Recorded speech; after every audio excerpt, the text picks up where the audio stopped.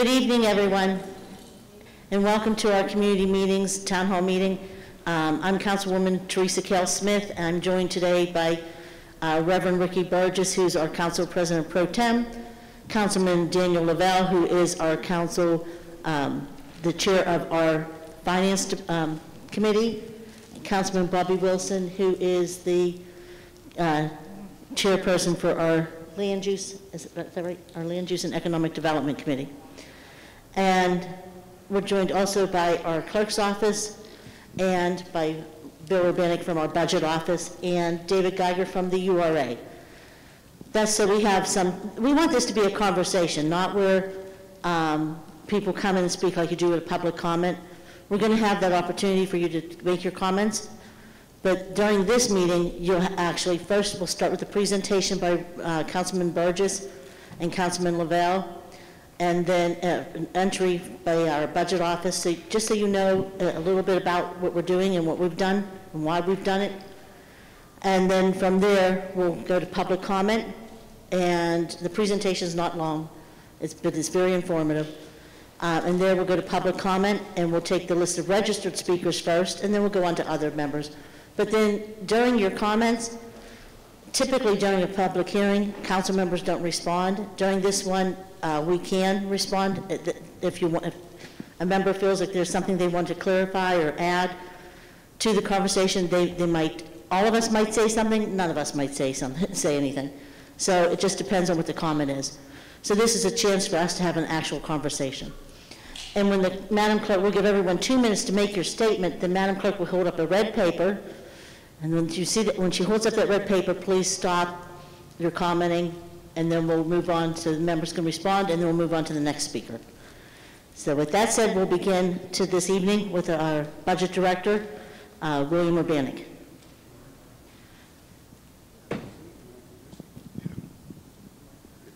There's a mic there, there's another mic there, or whatever. Okay, we use this one. Oh, okay.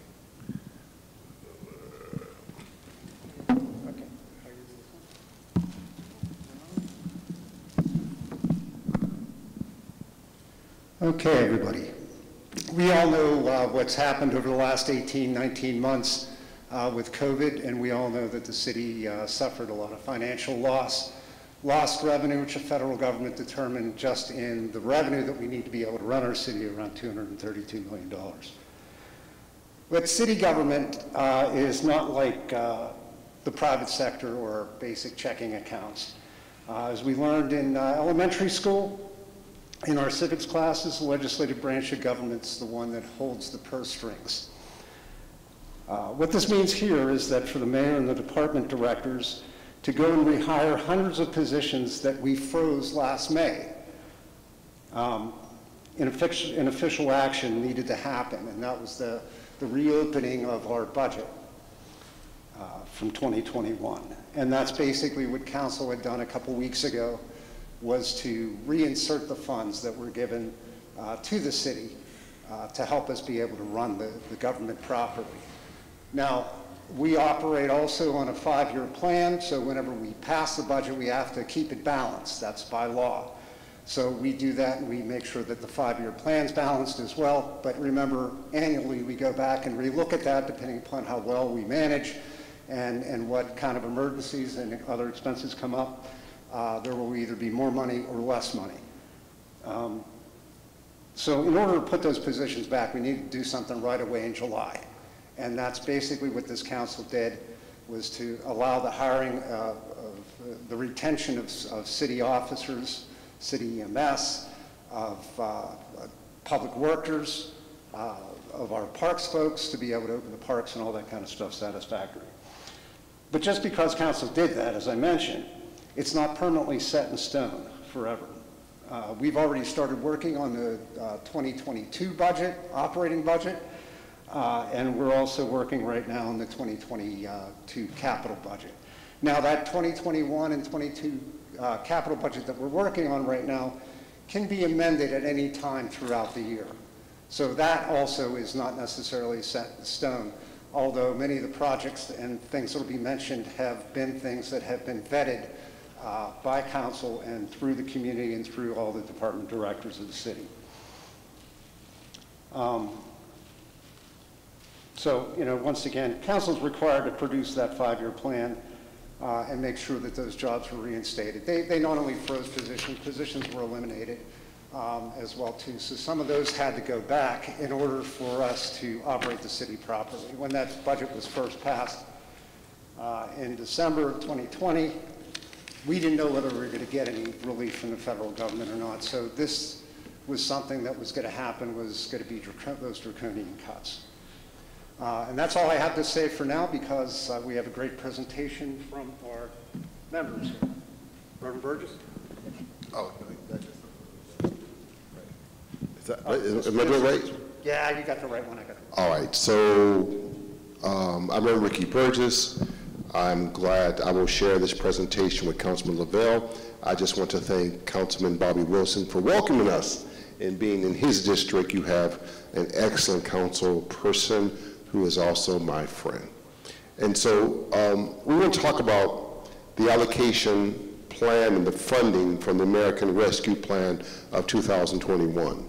I will go through the first part of it, and Councilman Lavelle will go through the second part to talk about specific equity highlights. I will give you an overview of kind of how we got to the point in the first place. The COVID-19 pandemic created a fiscal emergency in the city of Pittsburgh. Uh, luckily, um, we had been saving money, the mayor and council, we've been saving money for many, many years once we get le- left Act 47. And so if we had not had that budget surplus, if we had not saved money, we would have had to lay off people probably in February or March. Um, um, However, the, um, um, because of the um, lost revenue, the, um, we would have laid off 600 employees by July 1st.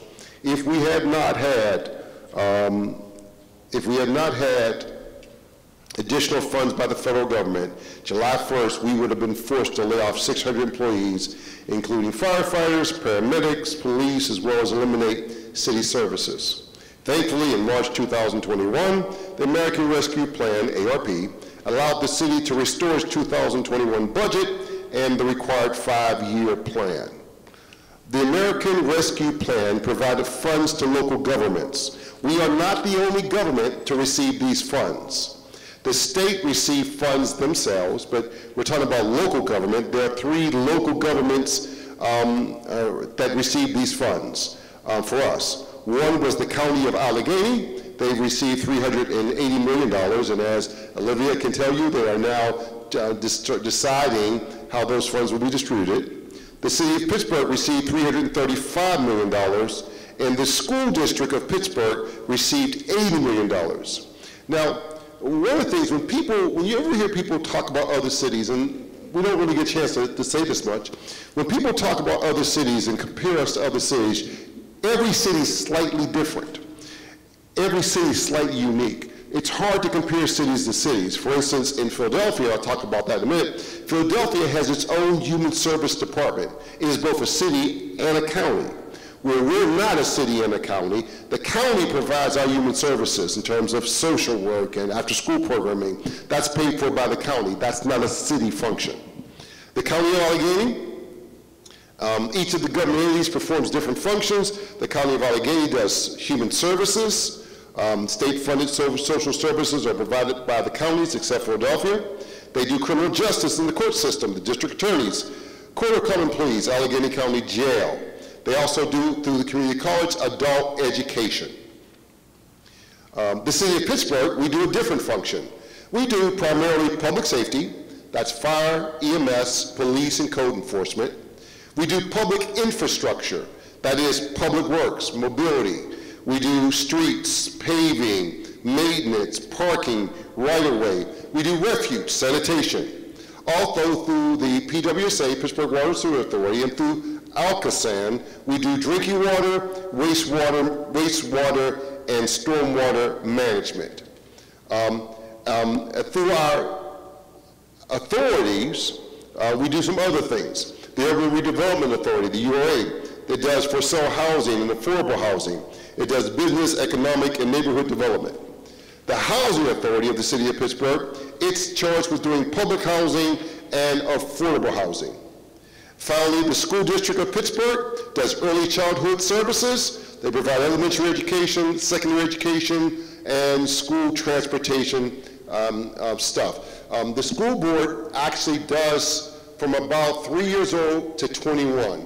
Once you hit 21, you age out of the system, and then you're picked up either by the Allegheny Intermediate Unit, depends on what it is you, your needs are educationally, or the Community College of Allegheny County. So let's talk about Pittsburgh specifically. The city is receiving a $335 million allocation. That allocation is divided into two equal payments. Uh, this summer, we received from the federal government $165.5 million. And then next summer, we will receive another $167.5 million. Now, these funds are not funds that we can allocate um, um, just anywhere. It, there's four federal, federal, federal guidelines and formulas as to how these monies should be spent and must be spent. First of all, they need to be under contract and spent by December 31st, 2026. Federal formula dictates that the city can receive funding to replace revenue lost by the pandemic. So the reason we got this money is because of the money we lost um, last year, this year, and what they estimate next year's revenue losses will be. So the money is to offset lost revenue. For instance, we didn't have um, power games, we didn't have entertainment, we didn't have concerts. All those are lost revenue. Um, federal, um, um, it says for operating expenses to restore the payroll, to avoid layoff, and to fulfill positions necessary to fully operate the city. Now what we did was the city created a trust fund. All this money went directly into a trust fund. In this way to strengthen accounting and increase public transparency. So we'll be able to account for every dollar taken out of the trust fund and used for some city purpose. Um, the ARP funds are specifically designed to be spent on things the city would normally spend money on on its regular course of business. So the things that we already do is how this money is supposed to be delegated. It's not for a time for us to spend money on some new idea or something we haven't done. That's not the purpose of these funds. These funds are designed to be spent on the things the city already does. ARP funds are designed to be spent on essential city services, but there is a small amount of discretionary money. Most of the money will go into everyday city services. Um, federal best practices indicates that any discretionary spending be invested primarily in long-term capital investment like housing or roads, not in after-school programming, not in counseling, not in um, paying um, nonprofits. That's not um, a capital expense. The city's discretionary spending should be used for transformational purposes instead of for transactional and temporary items. Significant ARP funds spent on non-essential programs or programs not substantially related to the city's essential obligations could have and would have significant unforeseen consequences. Our budget is very complex. Some of our budget is negotiated by contract. Some, we have, there's a variety of ways our budget is structured.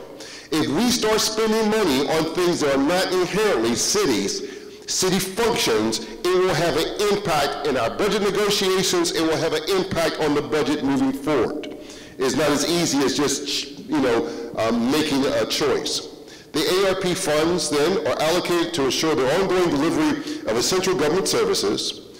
We are not primarily designed to fund they were not primarily designed to fund private for-profit entities or market-based activities. Were not primarily intended to fund community-based or nonprofit entities. The CARES Act, there was a different funding stream for that. The CARES Act of 2020 and other federal programs allotted significant funds to assist individuals, for-profit, and nonprofit entities and social service providers. That's a different pot of money. That's not this money. so what we did do is this. We enacted the Equity First Spending Plan to do a couple of things. To account for funds necessary to avert layoffs or job termination of city employees, fund public infrastructure, lead water line replacements, neighborhood recreation centers, and other quality of life investments. Prioritize investments in community and economic development projects in the city's black neighborhoods. One of the things, and, and Councilman Lavelle talked about this in detail, one of the things that um, you may not given first blush that one of the things we're doing is we're buying new city equipment. And you say, well, what does that have to do with black communities? Well, when we um, shovel, when the snowplows shovel streets, they shovel streets based on occupancy and transportation. So that the more people travel the streets, they're called primary roads, they will get solded, they will get plowed first, all the time. So places like Fifth Avenue is always going to get plowed. Forbes Avenue always going to get plowed because the universities are there. Many of our black communities now are dense, are not no longer densely populated. So when you have old equipment, what happens is they break down. So when they break down, the places that are least populated will wind up being the places that are not plowed, not salted. So by having old equipment, we, we generally won't be able to do the resources in black communities. So by investing in new communities, not only are we making it more efficient, we're actually going to provide more services to African American and lower income communities. Okay, last thing, I'll let, I'll let uh, Councilman Love talk about that. First of all, talks about where the money, how the money was, was guesstimated by the federal government. There's a sheet, sheet 13, that gives you a sense of where the money came from and kind of the areas that the federal government decided we were going to lose money at. And that's where that $167 million a year came from. Those were the categories of funding loss and how they designed or estimated where our money would, would come from.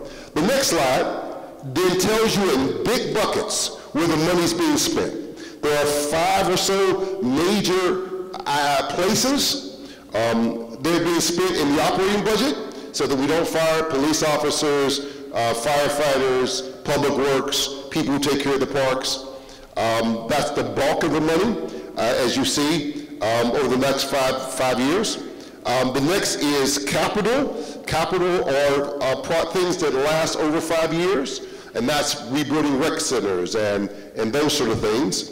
Um, the next is a special revenue lead paint project where we are going to, um, we know that lead paint is the primary way children receive lead, and there's a, split some money uh, to try to alleviate that. The URA uh, gets a significant chunk of money. That's what's going to do your affordable housing and your um, trying to get home ownership, um, especially for low and, and moderate income uh, people. Uh, the Pittsburgh Parking Authority gets a little bit of money. The way they're going to get the bulk of their money, we cannot give them a lot of money directly, but we're going to forego their payments to the city over a period of years. Usually, they have to give the city a significant payment. We're going to reduce the amount of payment they gave us because during COVID, their parking lots have been empty. The parking lots, the parking garages have been empty. They've lost a significant amount of resources because of COVID. Uh, the PWSA, we're going to put money into making sure that they replace the lead water lines, so especially in communities of color. Uh, one PGH is guaranteed income. There is going to be a pilot program where a group of people, not limited to, but primarily single mothers with children, and giving them a monthly stipend, uh, just a monthly stipend. What they found out is when you give um, mothers more money, believe it or not, they don't spend it on the casino. They don't spend it on drinking. They don't spend it frivolously. They spend the money buying the children higher nutrition. They spend their money on clothing their children. They spend it on having a better quality of life for them and their families. And so I will stop there. That kind of shows you the overall uh, way in which the money is going to be allocated, and then Councilman Lavelle will talk specifically about its equity component. Thank you, and thank you all for allowing us to be here this evening. One additional thing I want to mention is there have we've received a lot of questions about why not simply budget for this year, but not and not budget for the outlying years. By state law, we have to budget in five-year increments. We cannot simply open the 2021 budget and not make the next four years and not balance those dollars as well, which is part of the reason why we've had the budget for all the money that's coming in, because we have to do it in five-year increments. So going into our operating budget is going to be approximately $175 million that goes directly into our operating budget. First and foremost, based upon what Reverend Burgess just shared with you, we wanted to make sure that based upon how we're legally allowed to spend the money and how the city functions, that we were intentionally doing it in an equitable way and intentionally trying to build, rebuild up and build out and fix communities of color and communities that have been seen lack of investment over the years. And we wanted to pour money into those physical places as well as the people who actually live there. So he already spoke about and gave the example of our snowplows. So we're going to put $13 million into replacing our aging vehicle fleet, including those used by DPW, and that will help us in communities where we haven't seen these services as well, patch the potholes, remove the snow, treat the roads, sweep the streets, and even clearing out the catch basins. Um, just as an example, last uh, winter, when we had our one snow, we council members all received calls about snow not being cleared, half our fleet was down, which was part of the problem and why then we're not uh, being as effective as we would like to be. In addition to clean and safe neighborhoods, we want to make sure that no community, no resident, excuse me, deserves to live in a neighborhood with overgrown, trash-strewn vacant lots and dilapidated buildings.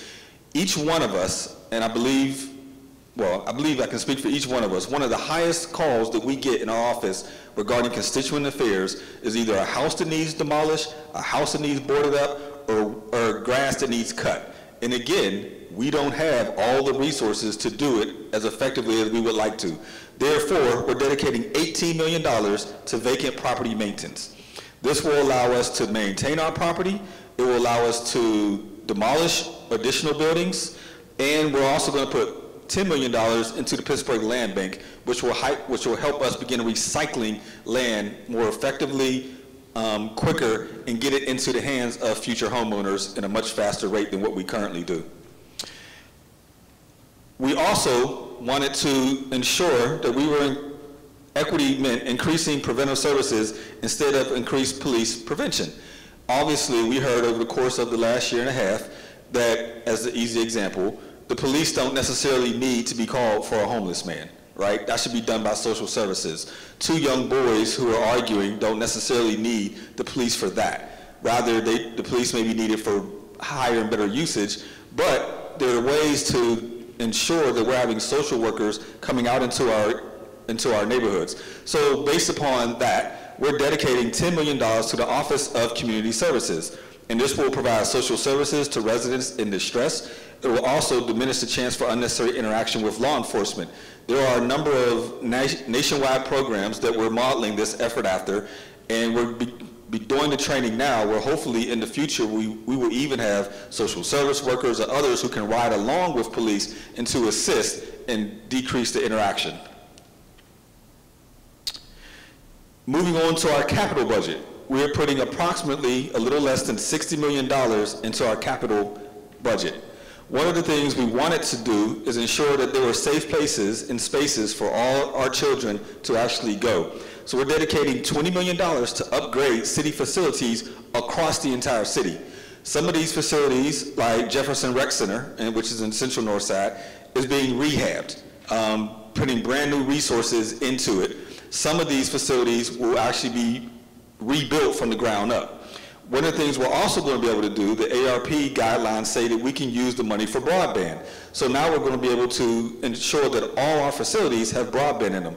There's facilities that don't have air conditioning. We'll be able to provide air conditioning. But we will increase and better all our facilities across the city, many of which not only children, but our seniors use, utilize too. And many, oftentimes, we have community meetings there, and we do all those sort of things.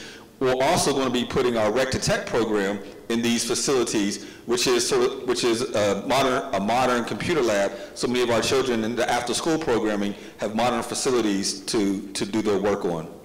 We're also going to be sending over 17.5 million to PWSA. The reason we are doing this is to avoid PWSA having to do lending to fix up all their infrastructure. If they had to do it on their own, they would have to take out a bond, they would have to borrow, and they would essentially charge you, the ratepayer, for that increase in order to be able to pay it back. So this is going to save ratepayers in our city a significant amount of money.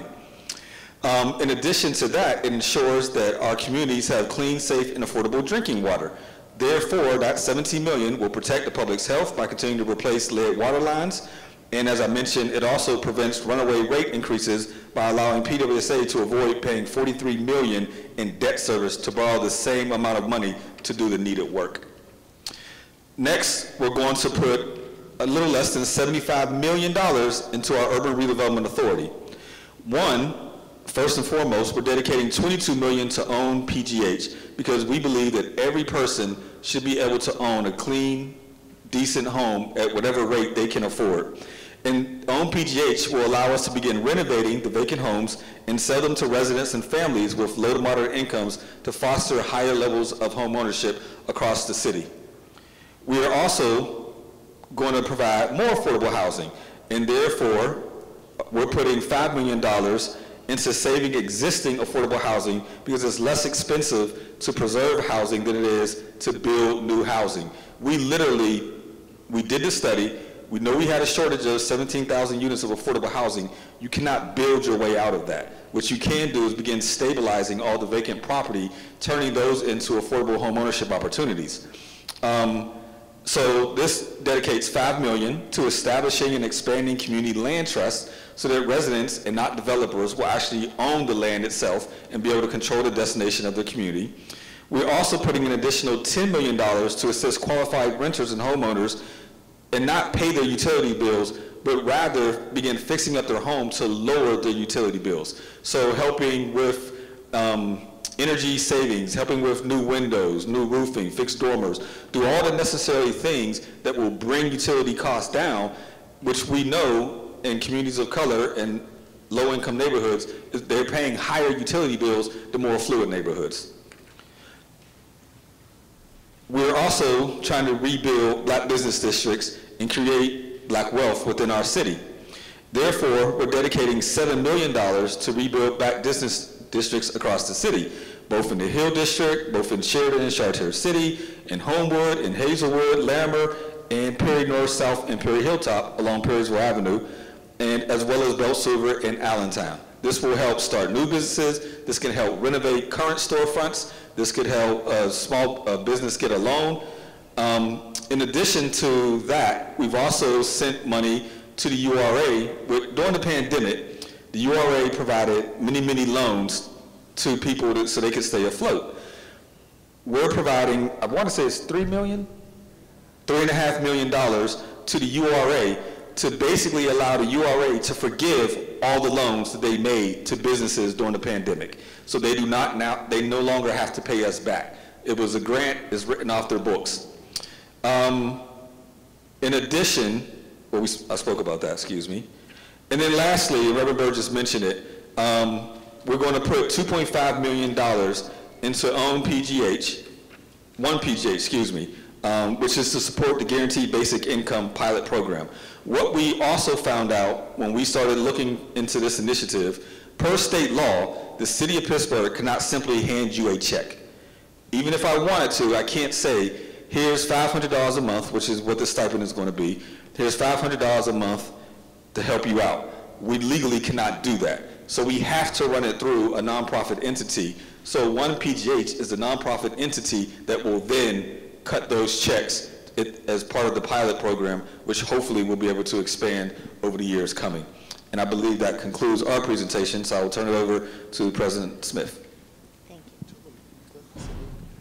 So you should have, there are two different things you can have. So the PowerPoint many of you have, there's also a second sheet that some of you have but may not have that lists all, the, that, the second sheet lists every single item of expense. We went over broad categories, but there is another sheet that, that lists every single expense of the ARP funds. So you can have name in the back. So if you don't have that, you can get in the back and you can see every single project so that every dollar is accounted for. Thank you. Thank you, Reverend and Councilman Lavelle, for a great, another great presentation. With that said, we're going to open it up to our list of registered speakers first. And I just ask that you come to the microphone when Madam Clerk raises the, where are you going to sit there? Okay, Madam Clerk raises the red paper, please, you know, yield your, the time at the microphone. And um, if members want to respond, they'll respond, and if not, I'll call the next speaker. And in the meantime, our clerk, who's amazing, brought all kinds of snacks and drinks in the back. Please help yourself throughout the meeting. If you want to just get up and go in the back, just feel comfortable just getting up and going, grab a drink or something to snack on um, throughout the meeting. That said, our first speaker is Betty Pickett. Is Betty here? Betty Pickett. Okay, our next speaker is Mark Brentley Senior. Director Brentley.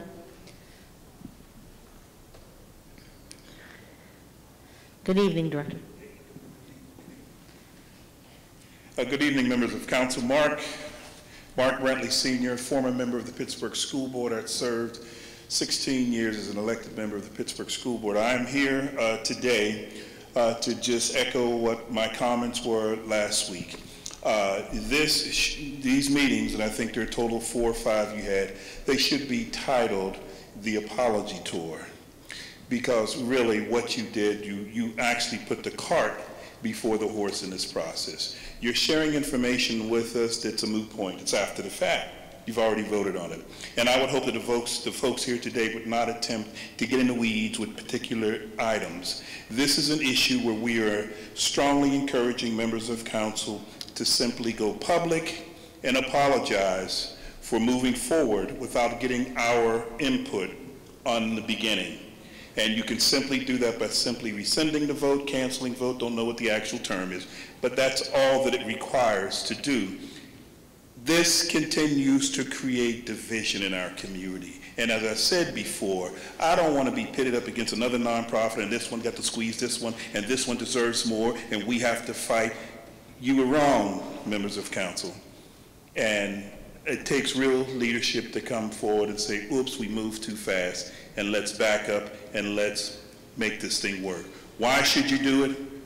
For good government, and so that we can develop the trust that we had for all of you, uh, that we should have. And so I'm asking again, please, talk to the mayor and have a press, a joint press conference, and just you know, whatever you got to say, but let's stop it where it is, move forward. And let's not forget, too, that uh, this process that you've put together that, that spends damn near all the money, how unfair to the incoming administration in November, in December, whoever he may be or she may be. Uh, that's unfair to spend those dollars and they not have an opportunity to have an input as to how these dollars are spent. Outgoing administration does not get that luxury to spend and commit to the incoming administration. Thank you very much. Please reverse your decision. Thank you. So I want to make two, two, two quick remarks. Um, One, regarding the new administration, every single year, city council works with the administration on a budget. Every single year it happens. Whenever whom he may, whom- whomever the winner may be, when they come into office next year, they will be able to work with council on how they feel dollars should be spent. As indicated at the very beginning of this meeting, dollars can be changed, but we had to put these dollars in place now. All the dollars will not be spent until 2026. So there will be plenty of time to work with the new administration. That's one. Two, no, I have no intention of apologizing for doing my job. And I say that because all year long, and I'm, there's people in this room who have called my office and said, Councilman Lavelle, you need to do X. You need to clean up this lot. You need to tear down this home. You need to help these businesses. You need to put more affordable, affordable housing here. You need to do all these things. Even the year prior to COVID, we had community meetings. Councilman Lavelle, will you please re- restore, rebuild Jefferson Rec Center? Uh, Davis Avenue Bridge, Coun- Councilman, he's received those calls for the last year, two years. And so when we go to budget, budgeting doesn't happen a month before you go to pass a budget. Budget happens when all year long, or, all, or the two years prior to that budget, I've got a list, a litany of things that have been, residents throughout my district, residents throughout the city have said, we need this. So when we put together this list, it's based upon a year's worth of hearing what people were calling for, what people were asking us to do. It doesn't happen when all of a sudden you, someone hands you a check and now you create a budget. That's a year-long process. Thank you. Thank you.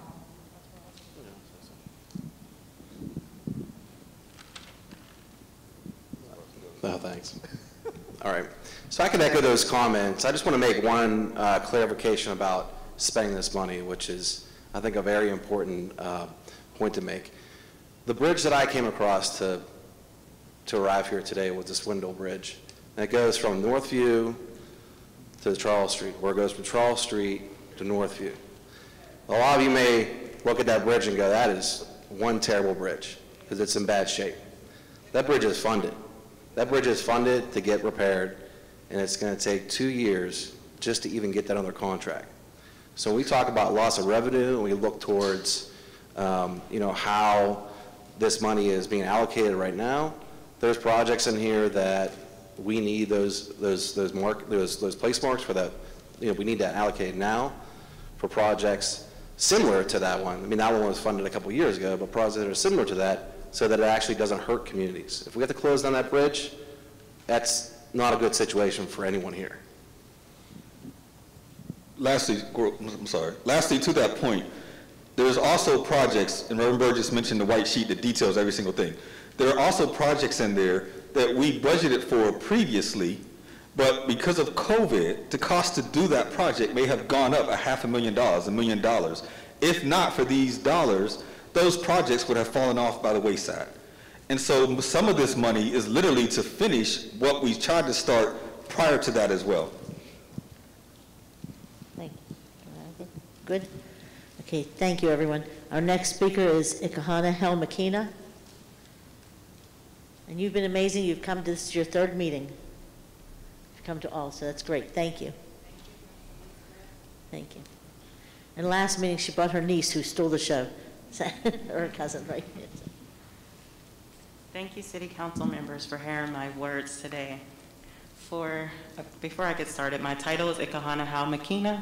I am the Grand Inca the Iroquois Confederacy of Aborigine American People. And for those of you who do not know what Aborigine is, it's simply the equivalent of being an Indian.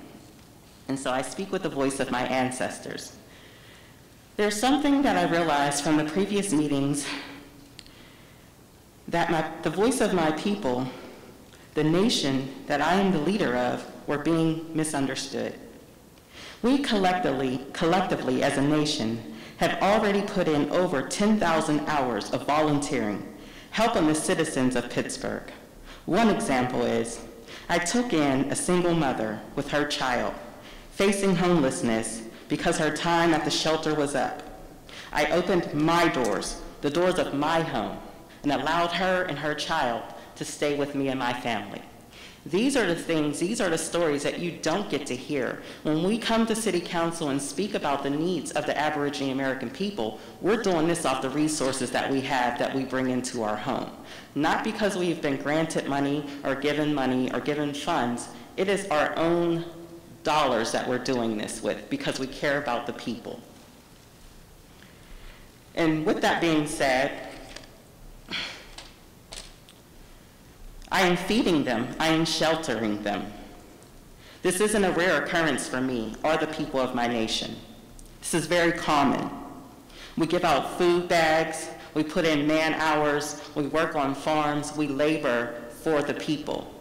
I also provide transportation services for single mothers who can't get to grocery stores, who can't get to doctor's appointment. In fact, I did it today. I'm coming from having done so today.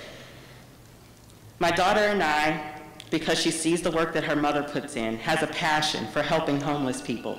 So I created a donation fund that we go to the store and we don't do uh, food pantry food. We actually go to places like Johnny Gore, Aldi's, and purchase food for giving it to single families who don't have food during this pandemic prior to, you know, the government stepping in because it took them a while to react.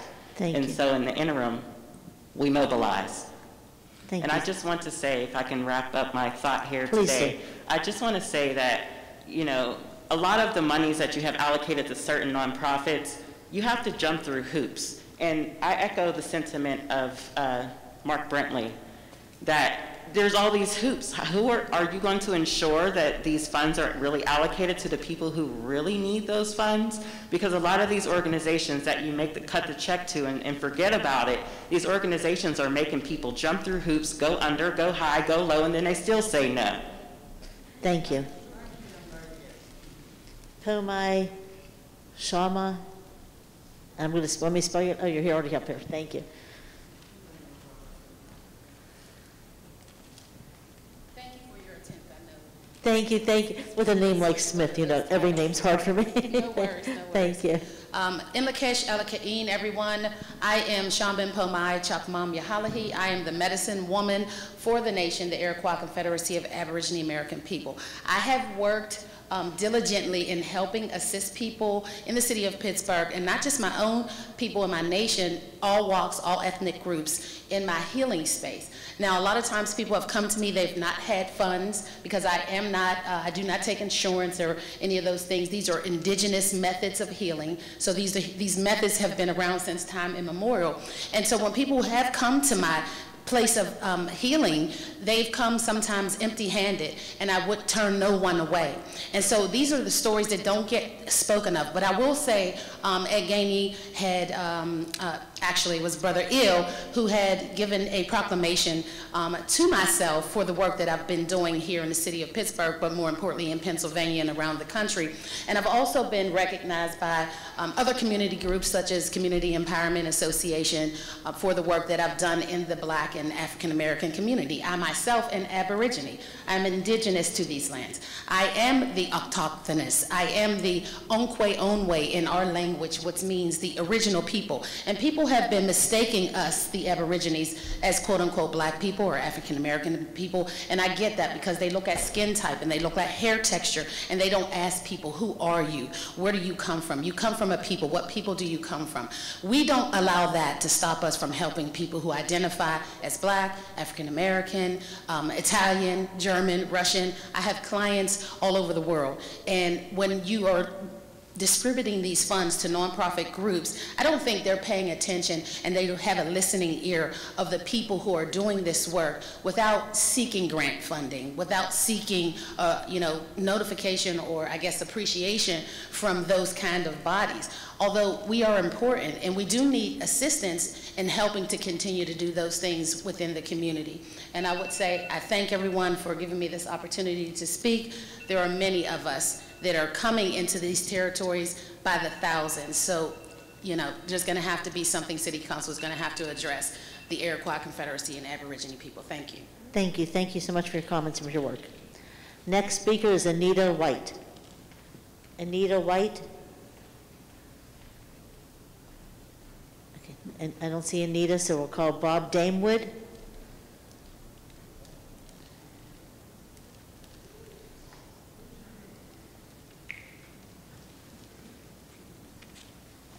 How do you adjust this thing?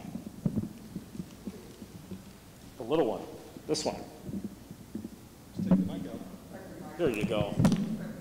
There you go, thank you. All right, well, um, good evening, members of council. Uh, it- it- I I can't say what I need to say in in two minutes.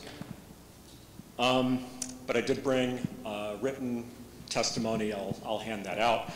Uh, I I do want to say, so Councilman Lavelle, you you said, you know, rightly so, that you talk to your constituents every day, right? And, and um, you formed your, your uh, priorities based on your conversations with your constituents. Well, I, you know, I know that your constituents have told you one thing that is hardly reflected in this ARP budget, and that is the rent is too damn high.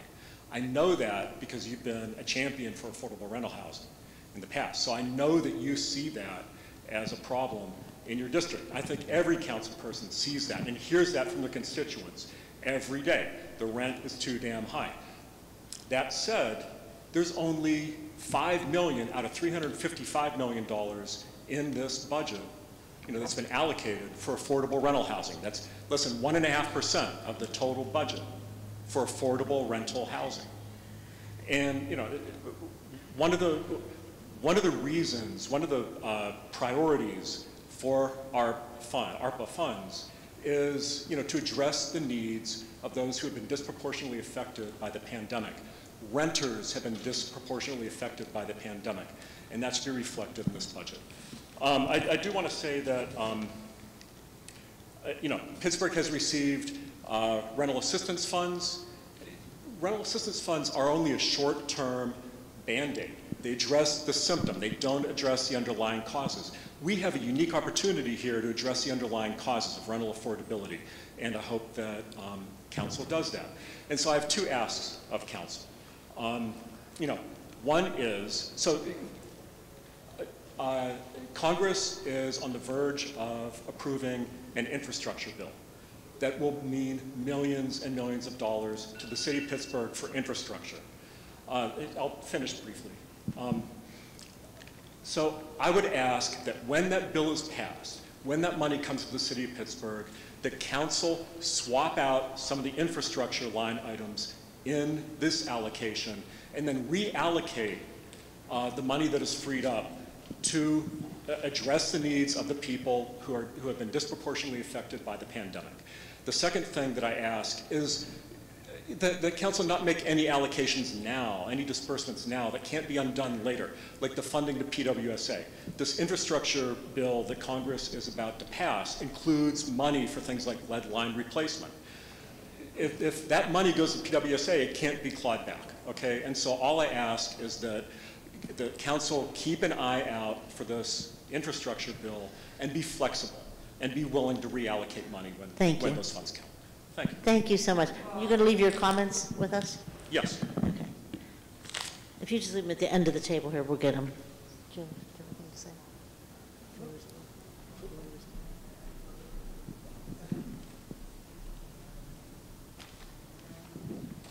Then our next speaker is Lois Lieberman.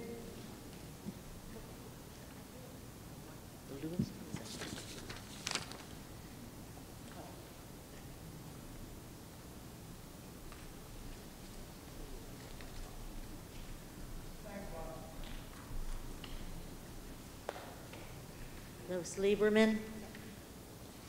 No one here. Ann Sanders? Good evening.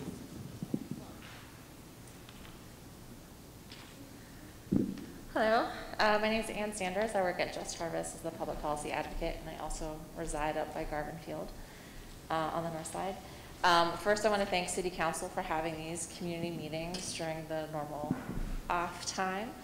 Um, these are great.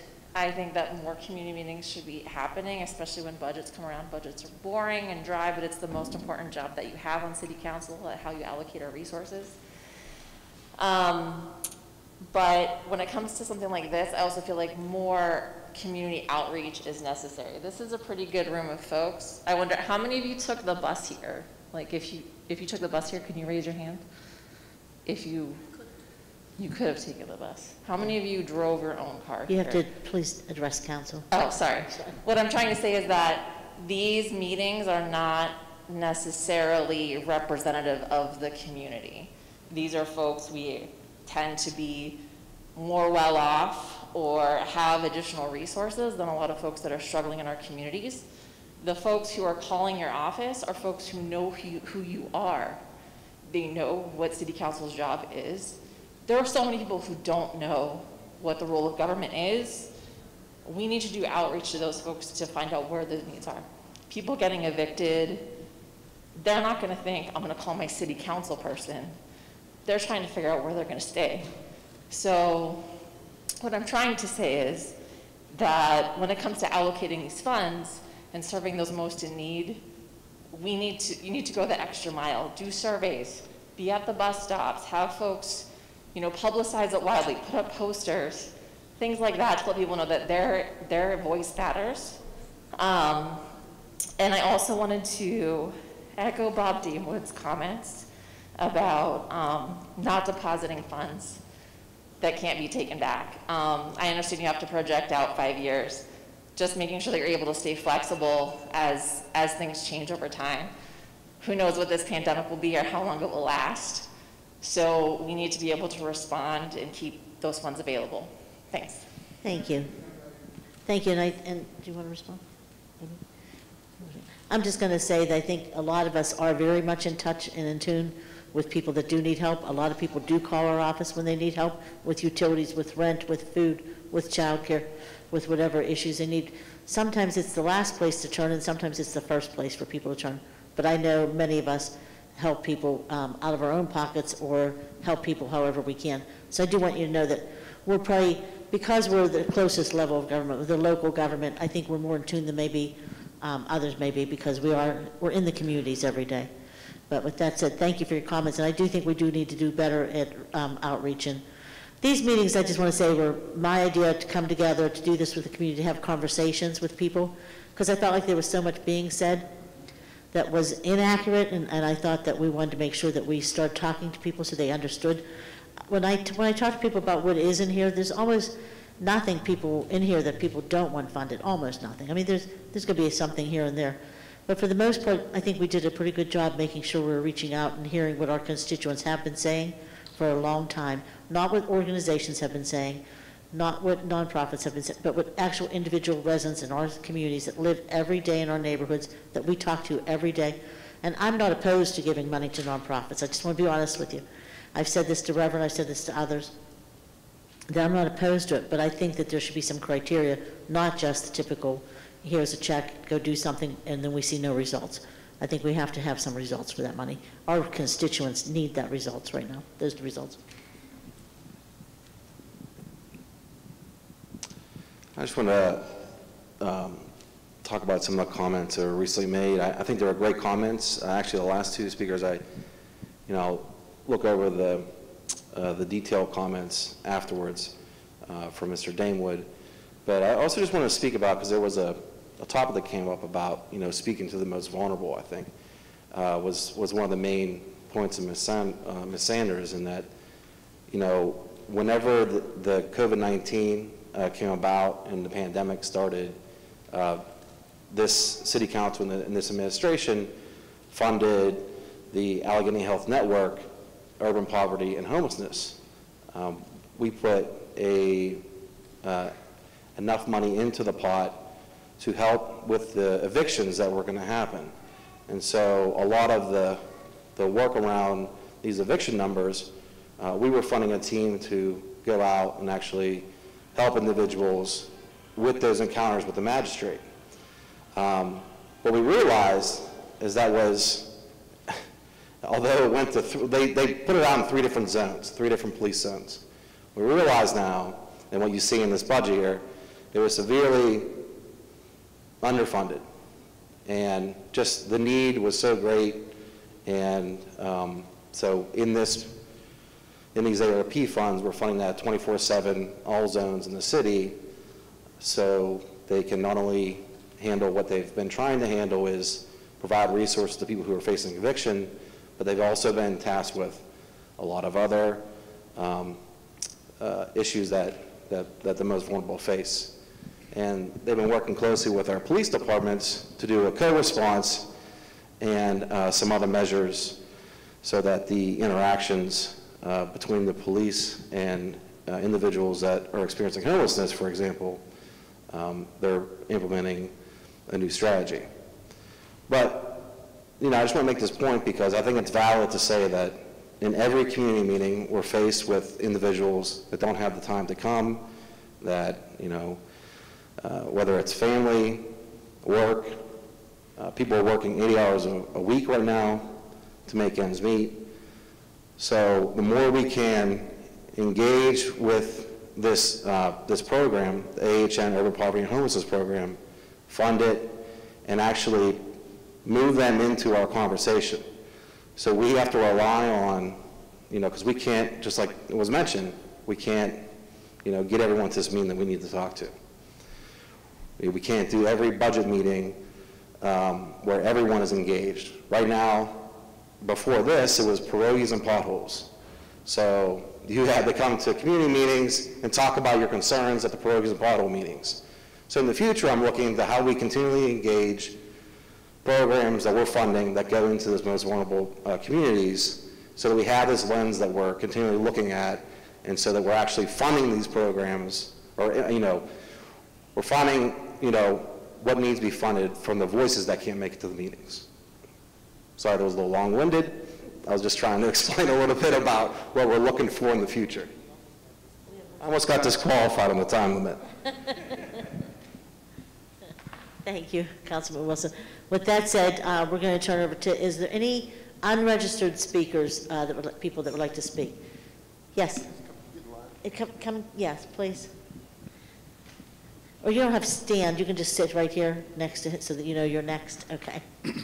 Thank you, council, for having me. My name's Tony Moreno. I'm a North Side resident. Everybody can look. Right here, this is the City of Pittsburgh press announcements, press releases. It's on their program.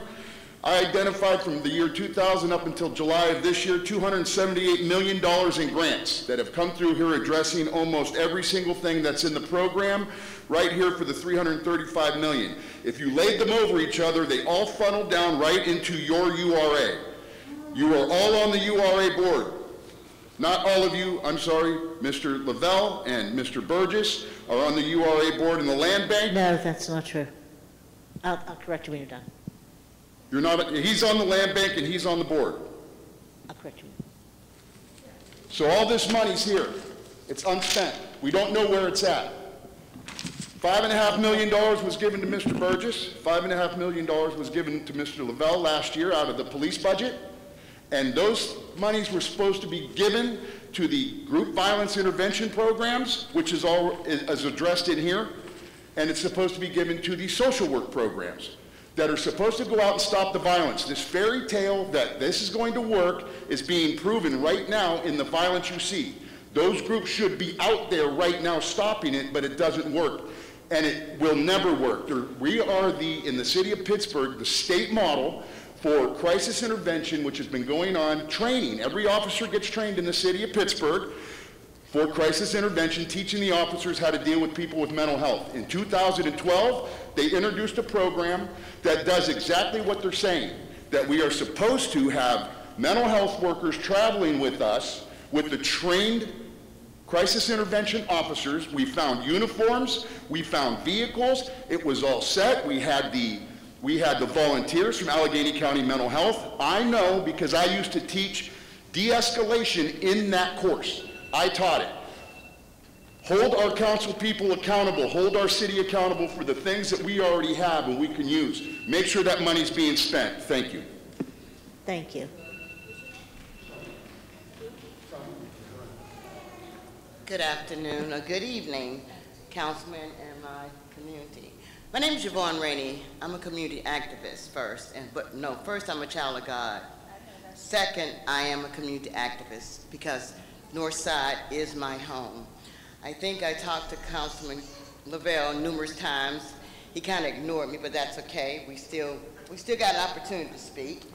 I'm not speaking for myself. I'm speaking for my home where I live at with my, res with my community. You talk about allocating monies to these different nonprofits to assist the residents in their needs. And once again, like the young lady said, they jump through hoops. Families are being evicted. Go to these programs and say, oh, you got to come back with this documentation, this documentation. That's a hiccup to them, but to the families, it's devastating. Take away the barriers. Make the resource accessible to the needs of the community. Make sure the community is at the table when you do your budget, because it affects us. Because remember this, we vote. Our voices do matter, and our vote do count. Just don't sit there and think, well, I'm in this position. No, we put you there. You're a community servant. And remember that, we vote. And we are, when our votes do matter and they do count at the polls. Thank you. Do we have another, any other speakers?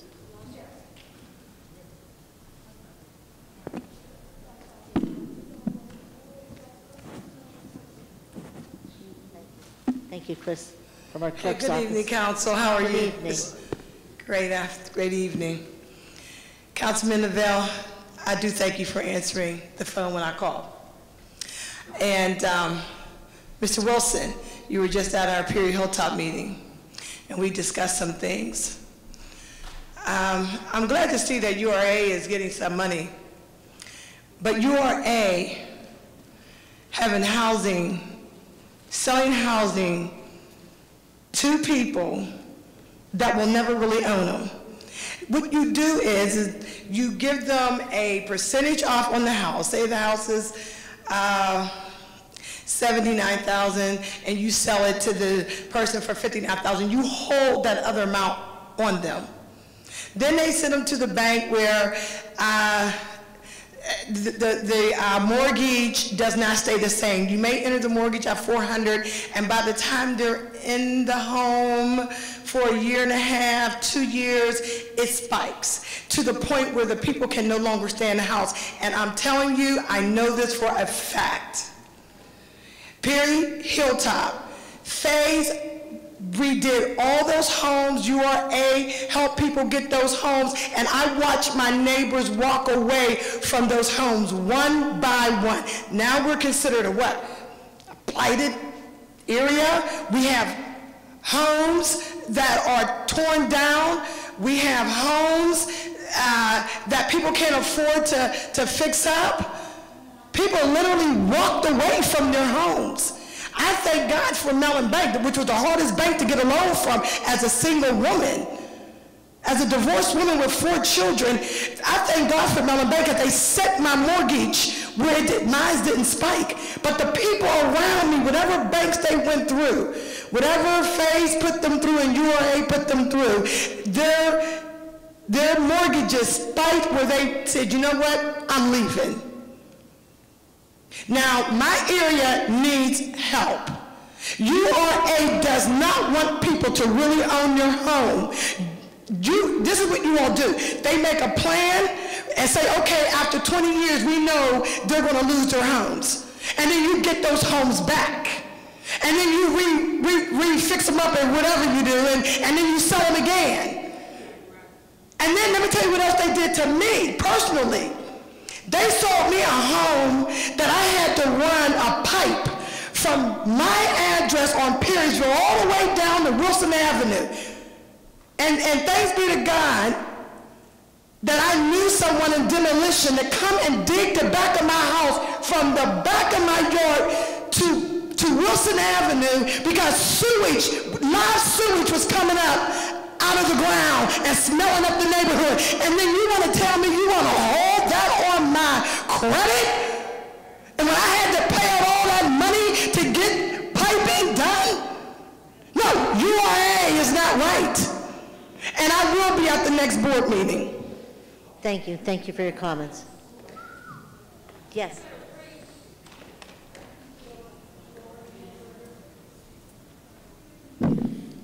Okay, okay, okay. Uh, Hi, how are you? Hey, Please just doing? state your name and neighborhood. I- I Yeah, uh, apologize. my name is Whoever comes Amos up to speak. Burton, uh, Perry North. I'm um, co-founder with my partner back there, Reverend Eleanor Williams, uh, the Northside Partnership Project Community Resource Mall. And I heard a couple things in here, you know. First one I wanted to talk about was the vacant lots. You know, I see like $18 million here. Well, when I was a kid, they had a program called the Youth Corps, you know? And we went out and we built top lots and things like that, you know, in the city. You remember, Ray, you know, you remember and stuff. So I want to know, like, is there anything that's being put in place to put some of these kids to work? You know, in terms, man, you know, like uh, uh, renovating these vacant lots and stuff, $18 million, that's a lot of money. That could put a lot of kids to work you know? So I'm just asking, you know, is there, is, you know, is there, is council putting anything in place, you know, for, you know, employment and stuff, you know, for, for all these pages? You know what I'm saying? You know, that, Yeah. I just want to know, you know, is council putting anything in place, you know? Do you have any other comments? And then we'll, we'll respond to you after you're done making Yeah, your okay, you know, uh, along with that, we got, now, also, when I was a kid, you know, there was probably about like 70 rec centers in the city. You know, where they at? You know, uh, Jefferson Rec, uh, I don't know what Pittsburgh project is, is designated as, you know, but I know Northside Partnership Project Community Resource Mall, we're designated as a community center, you know? And we will be asking, man, if we qualify for any of these funds, man, you know, that's designated for these community centers. You know, you know, Daniel know I'll be calling him, Bobby know I'll be calling them, you know? Because, you know, our constituents, our constituents come from both their districts, you know? So, uh, you know, things like that, uh, also, let me see what I got over here. I got something else. Then oh, wrap Oh, up your yeah, we talking about, we talking about the lead pipe. We got time now, you know, don't, don't, you know, we talking about lead pipes. We got a, we got a school up here, man, that's hundred and fifteen years old. You understand what I'm saying, you know? And, and we gonna be asking, do we qualify, man, you understand what I'm saying, to get the piping and stuff in there changed? Cause we know, man, yeah, that there's some lead piping in there.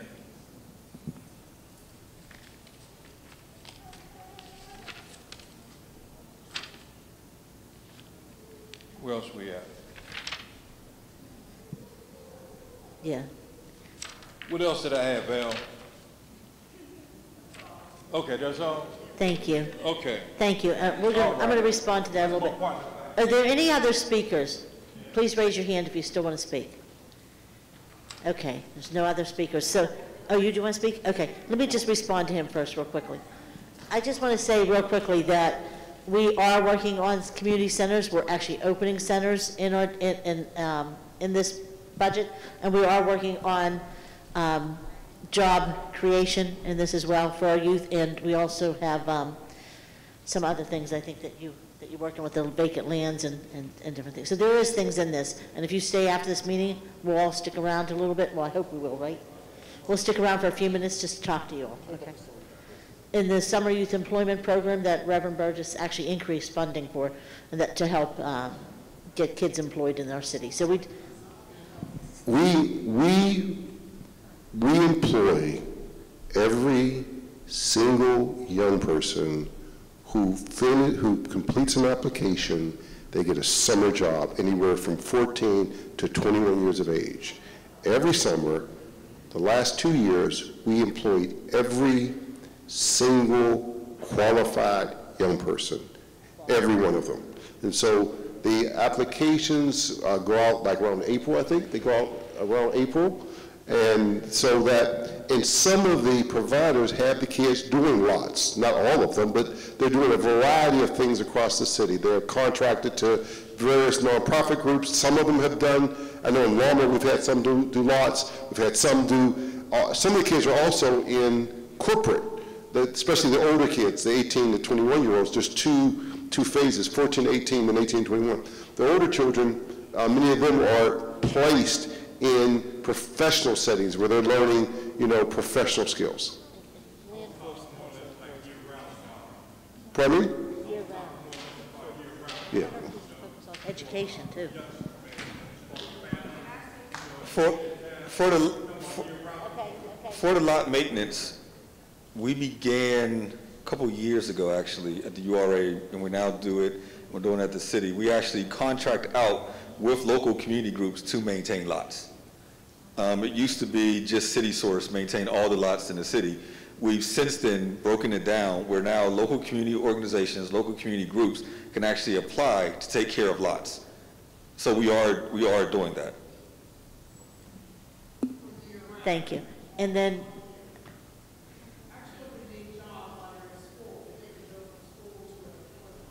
I hear what you're saying. I hear you. And we're going to have the next speaker, uh, and then, then you- we can all respond. I just want to get, Hi, everyone. I'm, my name is Regina Wheeler. I'll be brief. Uh, the meeting was quite interesting, to be quite honest. I'm still learning everything. I'll just speak for my mom. And I live in Spring Hill right now. I am from the north side. I attended Slippery Rock University. I didn't get my degree, but I'm still great, so I want to put that out there. Um, uh, like I said, I live in Spring Hill. I noticed that on your list of uh, communities, you guys are going to be helping, or so you say. I don't want to judge you. Um, please consider Spring Hill working with the property owners over there um, because our people over there need opportunities. And so if you have opportunities for them, I think they should know about it. I haven't heard anything. Maybe I missed, missed a letter or something, I don't know. Um, also, I want to speak to with the young lady in the black and, uh, the black and, uh, white dress on, outreach, I just want to speak to, I want to echo her. That's all I want to say is outreach. So if you don't have anybody on your team that does that and can't do it effectively, come see me. I'll help you. Um, what else? We might take you up on that. Yeah, awesome. And um, what else? Uh, I want to say um, that our black men need opportunities. I'm gonna say it louder. Our black men need opportunities. They weren't mentioned. You mentioned black communities, but we can uh, put them in jail and then they can't find work. So like um, somebody mentioned going under hoops and doing this and doing that. Uh, we want to build our communities. If you're to build the black community, build the black man. Um, uh, what else? I'm also, um, my mother, I don't know how long you've owned your home, but you've owned it long enough. So if you can, uh, uh, 22 years, is that what you just said? Okay, um, so uh, if you're gonna reiterate what you already spoke about homeowners, that would be great so that we know where we fit in that. And um, uh, I know my time is up. Um, can I, can I pray for us? Please? How about right after this meeting, we'll sit down? In Jesus' name, okay. Thank you. Anyone else? Any other speakers? Did you want to speak, Mom?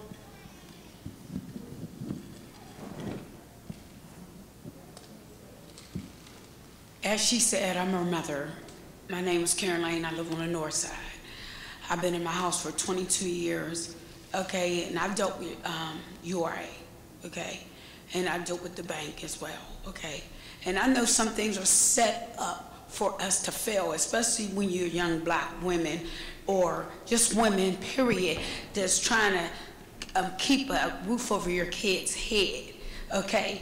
And the struggle, y'all say y'all go into the communities. Well, I would like for y'all to come into mine and see, like, like um, where we need help at to help build us back up because it's falling apart. And I know for a fact my house is falling apart, but I'm still in it but I had to go through so many things to, um, to just to keep um, a, a roof over my head because there's supposed to be programs out there to help you. And just like she said, you go through hoops and hoops and hoops and nothing gets done. And you're afraid to trust people because they do. They end up, you end up have to sell your home. You end up have to give it up. You know what I'm saying? I want to live just like everybody else, okay? But y'all say y'all come into the communities. The, the one way y'all could come in, come see, talk to the people.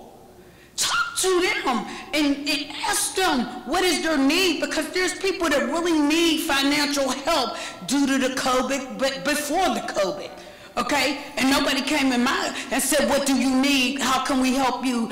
How um, do you work or you don't work? What do you do? And I can tell them. Okay, I get Social Security. Okay, well, is that going to take care of my bills when I have to, uh, they got me on a budget? And then if I can't keep the budget, they still add that money towards what I got to, and then you got to pay them back that money? And you ain't got the money in the first place to be on the budget. So see, y'all should think about some of these programs that they got out for our people that they claim that they, they were here to help us, but they're here to fail, keep us from failing. Thank you. Any other speakers?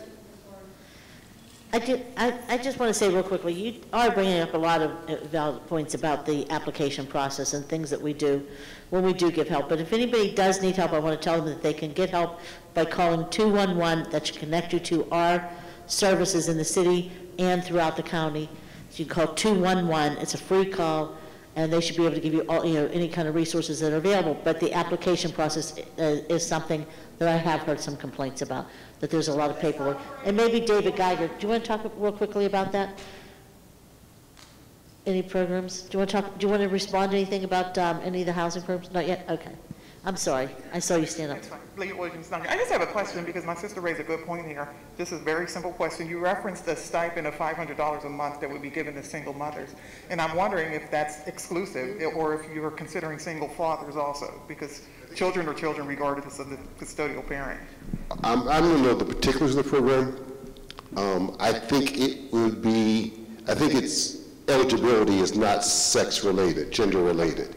I just said single mothers because that's going to, we know statistically that that's going to be the largest percentage of the population eligible. It doesn't mean, though, that there won't be single male too, but the, um, in the black community, the fastest way to uh, become poor is to be a single person with a child. And they are disproportionately poor. That is, that, that in, in black communities, single mother with children are disproportionately the bulk of households that are poor in black communities. And so when we, when we try to help that part, that, that area, they're going to make up the, the, the bulk of the recipients just because they're the bulk of the people who are eligible. I understood. Just uh, 20 years in the family division tells me the single fathers get overlooked. Thank you. Thank you for your comments and pointing that out. Any other comments? Seeing none, we're going to uh, adjourn this meeting, but I do want to give the council members a chance to wrap up with any comments. Do you have anything to say? Any of you? No? No one? So with that said, I just want to say that um, I want to thank everyone for these meetings. We were hoping that we would have these types of conversations, and, and so I'm thanking, thank you for that. And we'll continue to stay here afterwards if you want to come up and talk with us a little bit more. Um, But I, I do want to say, make sure again, I reiterate to call 211 if you are in need of um, any type of services. And if they are un- unhelpful, or you still need help, then please contact your council members or your state representatives um, or other elected officials and, and try to get some of the help that you need. I can't say that we can cover everything and do everything, but we do try to do the best we can. And there are a lot of services out there that want to make sure that people do get. And I, I want to say that, um, I want to point out my husband in the back there who came with me tonight. Stand up, Tom. I just want to say back at, um, probably, it was probably about 15 years ago, I think it was, he helped me plant the garden down here at the Pittsburgh Project at the uh, ball field. Before I was ever elected, we came and we planted probably, uh, it was probably 90 degrees that day. And I just want to say, when I drove by, I couldn't get over how amazing it looked because it was just little plants when we started. So thank you for your work at the Pittsburgh Project here too. Thank you, everyone. This meeting's adjourned.